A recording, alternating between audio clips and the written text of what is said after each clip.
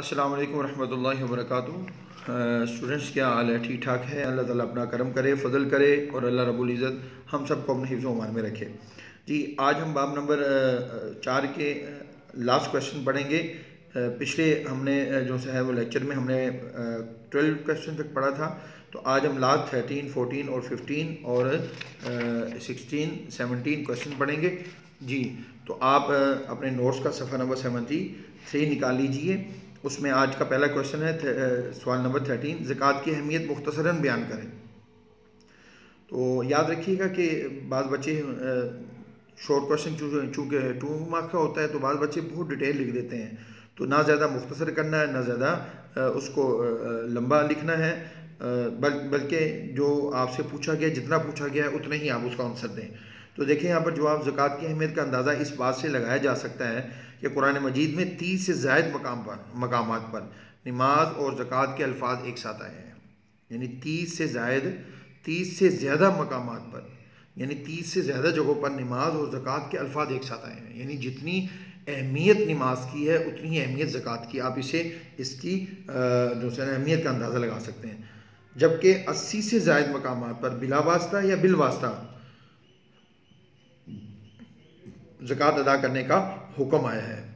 Question number fourteen منکرین زکوٰۃ کے خلاف حضرت بکر صدیق رضی اللہ تعالیٰ نے کیا اقدام کیے؟ سب سے پہلے آپ یہ سمجھ لیجیے کہ نبی اکرم صلی اللہ علیہ وسلم کی رحلت کے بعد ایک بہت بڑا فتنہ حضرت بکر صدیق رضی اللہ تعالیٰ کے دور میں اٹھا۔ وہ یہ تھا کہ وہ نماز تو پڑھتے تھے، باقی احکامات دین کے ادا کرتے تھے، لیکن زکوٰۃ کا انکار کر رہے تھے۔ تو آپ اس سے بھی اندازہ زکوٰۃ کی اہمیت کا لگا سکتے ہیں کہ انہوں نے جب زکوٰۃ ادا کرنے سے انکار کیا، تو ظاہری بات ہے، جس طریقے سے اللہ معاف کریں، خدا نخواستہ اگر کوئی مسلمان نماز سے انکار کرتا ہے کہ نماز کا چھوڑنا، تو نماز کا چھوڑنا گناہ کبیر ہے، لیکن خدا نخواستہ اگر وہ نماز کا انکار کر دیتا ہے، تو وہ کافر ہو جاتا ہے دیر اسلام سے خارج ہو جاتا ہے۔ اس طریقے سے اگر کوئی زکوٰۃ کا انکار کرتا ہے، چونکہ زکوٰۃ ایک، جس طرح نماز، ہم نے پیچھے پڑھا ہے کہ نماز جس طریقے سے جسمانی عبادت ہے، اس طریقے سے زکوٰۃ مالی عبادت ہے۔ تو زکوٰۃ کا انکار کرنے والا بھی وہ کافر ہو جاتا ہے۔ تو نبی اکرم اس کا آنسر دیکھیے جی۔ نبی اکرم صلی اللہ علیہ وسلم کی رحلت کے بعد جب کچھ قبائل نے زکوٰۃ ادا کرنے سے انکار کیا یعنی قبائل قبیلہ کی جمع ہے، کچھ قبائل نے زکوٰۃ ادا کرنے سے انکار کیا۔ تو حضرت بکر صدیق رضی اللہ تعالیٰ نے ان کے خلاف جہاد کا اعلان کیا۔ اور کیا فرمایا؟ فرمایا، اللہ کی قسم جو نماز اور زکوٰۃ میں فرق کرے گا۔ یعنی نماز کو تو پڑھے گا، نماز کو تو عبادت سمجھے گا، نماز کو تو فرض سمجھے گا، لیکن زکوٰۃ کو فرض نہیں سمجھے گا، تو میں اس سے لڑوں گا یعنی میں اس کے خلاف جہاد کروں گا۔ پھر کیا فرمایا؟ فرمایا کہ خدا کی قسم جو شخص نبی صلی اللہ علیہ وسلم کے زمانے میں بھیڑ کا ایک بچہ بھی زکوٰۃ کے طور پر دیتا تھا، اسے دینا پڑے گا۔ مطلب یہ ہے کہ زکوٰۃ دیکھیے، زکوٰۃ جانوروں میں بھی زکوٰۃ ہوتی ہے۔ اسی طریقے سے زمین کی جو پیداوار ہوتی ہے، اس میں بھی زکوٰۃ ہوتی ہے، اس کو عشر کہتے ہیں۔ وہ بھی ہم انسان آگے لونگ کوشچن میں آئے گا۔ تو جانوروں میں بھی زکوٰۃ ہوتی ہے، اس کا ایک لمبا چوڑا نصاب ہے۔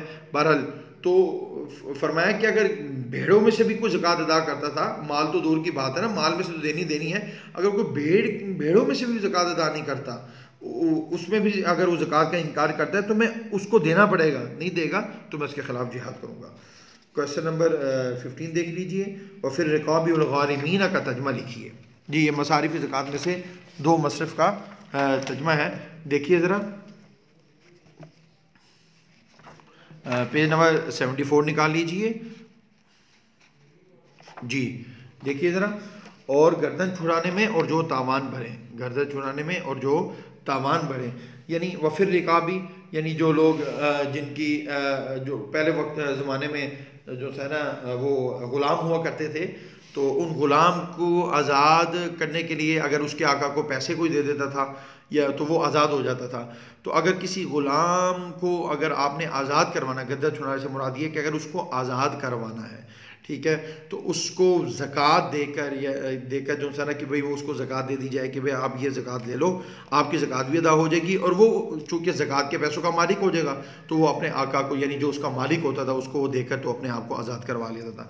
اور جو تاوان بھریں یعنی اگر کوئی مقروض ہے، قرض قرض دار ہے مطلب کہ اس نے قرض ادا کرنا ہے، لیکن وہ قرض ادا نہیں کر سکتا، تو آپ اس کی زکوٰۃ کے پیسوں سے مدد کر سکتے ہیں یعنی کہ اس کو زکوٰۃ دے دیں، آپ کی زکوٰۃ بھی ادا ہو جائے گی اور وہ اس کا مالک ہو جائے گا، تو وہ اب وہ زکوٰۃ کے پیسوں سے اپنے قرض ادا کر لے گا۔ انشاءاللہ ڈیٹیل یہ آگے لوگوں میں آ رہی ہم وہاں پر پڑھ لیں گے۔ آگے کوشچن نمبر سکسٹین بھی تقریباً اس جیسا ہی ہے والعاملین علیہ والمؤلفتی کا تجمہ لکھیں۔ یہ بھی مصارف زکوٰۃ میں سے دو مصرف ہیں۔ زکوٰۃ کے محکمے میں کام کرنے والے لوگ یعنی جو لوگ جو اسلامی حکومت ہوتی ہے، وہاں پر لوگوں کو مقرر کیا جاتا ہے۔ جیسے حضرت عمر رضی اللہ عنہ کے بارے میں آتا ہے کہ انہوں نے بھی بہت سارے صحابہ کی ڈیوٹی لگائی کہ وہ علاقوں میں جاتے تھے جہاں پر امیر لوگ ہوتے تھے تو وہاں سے ان سے زکوٰۃ لے کر تو غربا میں وہیں پر تقسیم کر دیتے تھے۔ ان کو عامرین کہتے ہیں۔ تو بعض لوگ ان میں عاملین جو ہوتے ہیں، ظاہری بات ہے، غریب لوگ ہوتے ہیں۔ اگر یہ مستحق زکوٰۃ ہے، یہ غریب ہے، یہ صاحب نصاب نہیں ہے، تو ان کو زکوٰۃ کی رقم سے آپ پیسے ادا کر سکتے ہیں۔ اور ان لوگوں کے لیے ہیں جن کے دلوں کو اسلام کی طرف جوڑنا ہے۔ والمعلفت قلوب یعنی کہ جو نو مسلم لوگ ہیں ذہری بات ہے وہ اسلام قبول کرتے ہیں۔ بعض اوقات ایسے بھی ہوتا ہے کہ، جیسے آج کل ہمارے ہاں کوئی کرسچن اگر ہمارے پاکستان کی مثال لے لیجیے، اگر کوئی کرسچن کلمہ پڑھ لیتا ہے، اسلام قبول کر لیتا ہے، مسلمان ہو جاتا ہے، تو جو کرسچن کمیونٹی ہے، وہ اس کو جو ہے نا، وہ اس کے ساتھ بائیکاٹ کر دیتی ہے۔ اس کو بالکل جائیداد سے، کاروبار سے، شراکت سے، ہر طرح سے فارغ کر دیتی ہے۔ ایسے لوگوں کو تلاش کیا جائے، ایسے لوگوں کی ہیلپ کی جائے، یہ نہ ہو کہ خدا نہ خواستہ وہ دوبارہ پھر اسلام سے پھر جائے مرتد ہو کر دوبارہ وہ دین عیسائیت اختیار کر لے، تو اب مسلمانوں کو چاہیے کہ ان لوگوں کی بھی مدد کی جائے اور اس کی بے شمار مثالیں تاریخ اسلام میں ملتی ہے انشاءاللہ ہم لوگوں کوشچن میں اس کو پڑھیں گے۔ آج کا لاسٹ کوشچن اس چیپٹر کا سیونٹین زکوٰۃ ادا نہ کرنے والوں کو قرآن نے کیا وہی سنائی ہے؟ یعنی زکوٰۃ ادا نہ کرنے والوں کو اللہ رب العزت نے کیا عذاب کہ کیا عذاب اس کا بیان فرمایا تو جواب ہے، زکوٰۃ ادا نہ کرنے والوں کو قرآن نے ست وہی سنائی ہیں جو لوگ سونا اور چاندی سین سین کر یعنی جمع کر کر کے خزانہ بنا کر رکھتے ہیں اور اسے اللہ کی راہ میں خرچ نہیں کرتے۔